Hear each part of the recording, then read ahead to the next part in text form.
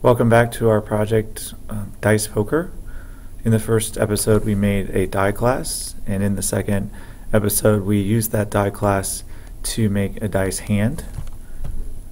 And we created a couple of methods to roll the dice that uses super, uh, which tells the program to look in the parent class, which in this case is dice. And so it rolls it five times, and then it places it inside the array dice hand. The, and we use the get face value method in the die class to get the value of the die. And then we made a toString method that we called print dice hand to print out the results of our when we roll the die five times. And you can see down here that our dice hand is two, three, six, one, and five. So we have nothing in this case because we have one of each. And we would, you could say you have a straight, but we're only going to say we have a straight when we have uh, one, two, three, four, five, and um, in a row. So, actually, we're missing four anyway. So anyway, let's go on, and uh, what we need to do is have a method to store the dice hand and allow us to total up what we actually have. So under my methods, I'm going to write a method called public void store dice hand.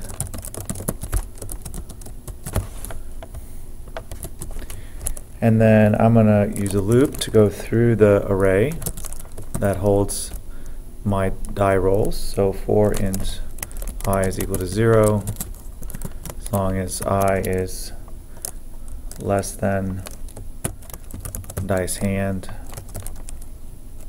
array.length.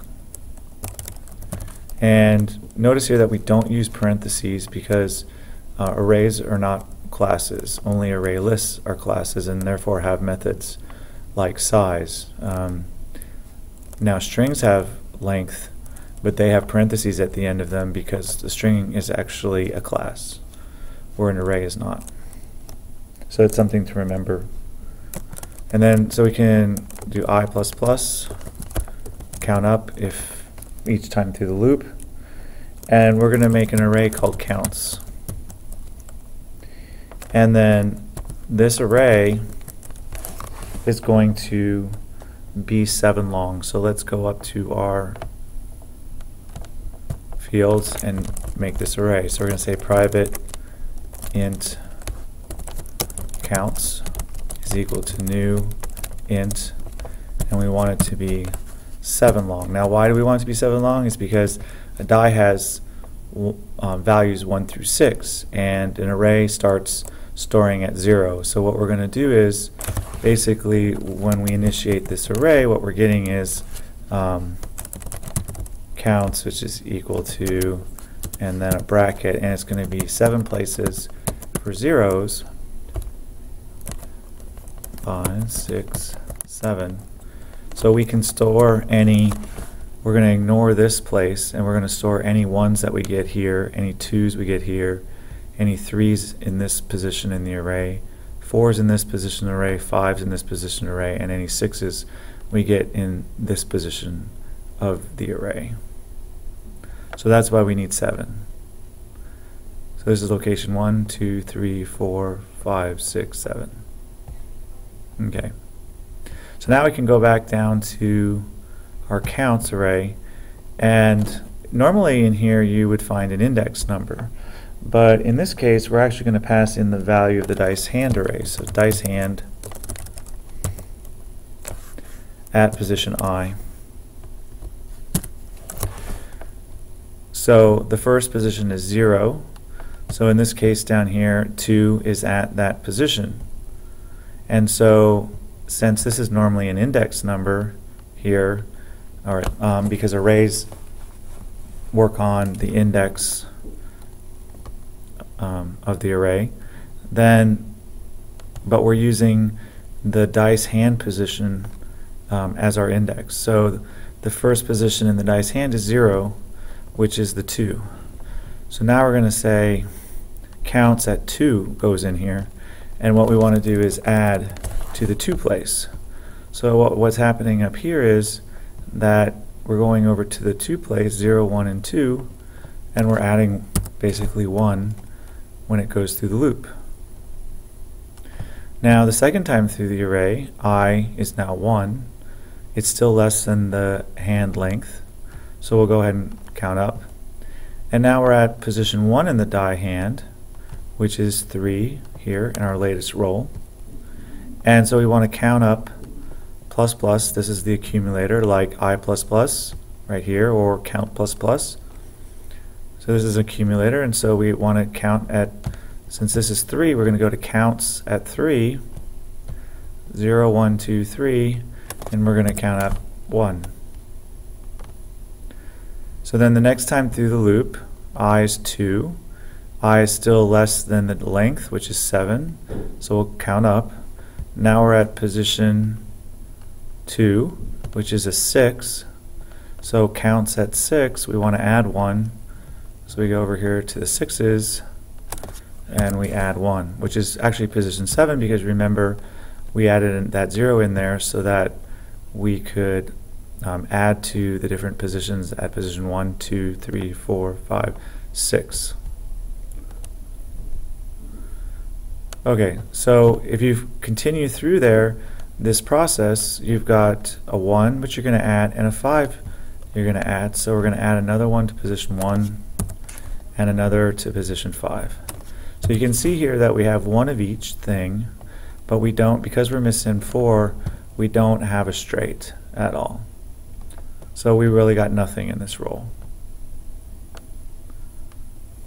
So I'm going to save this, and I'll go ahead and compile. Oh, I'm missing an equal sign.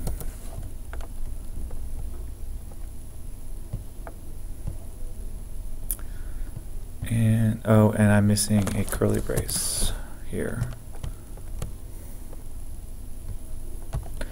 So if we go back to our dice poker game and we run this again, now you're seeing we're getting the 6, 3, 5, 2, 5. So we have a pair of fives.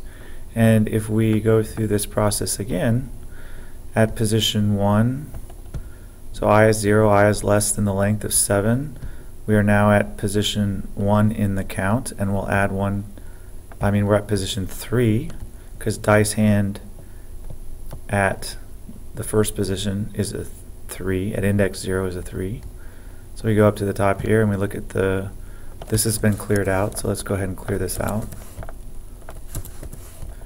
And this is just, of course, a comment that I'm using to show you how this method works here.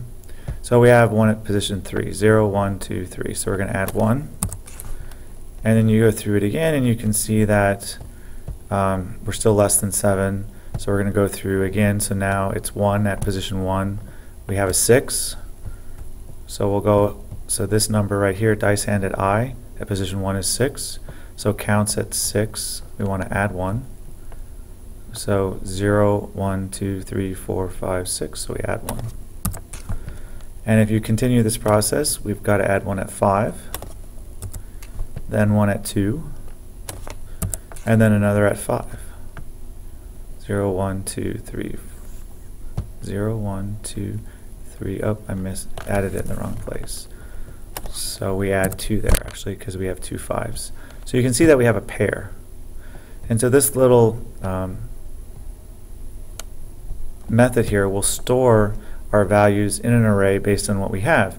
And we can now determine whether we have um, a, a, pair, a triplet, two of a, um, two pairs, etc.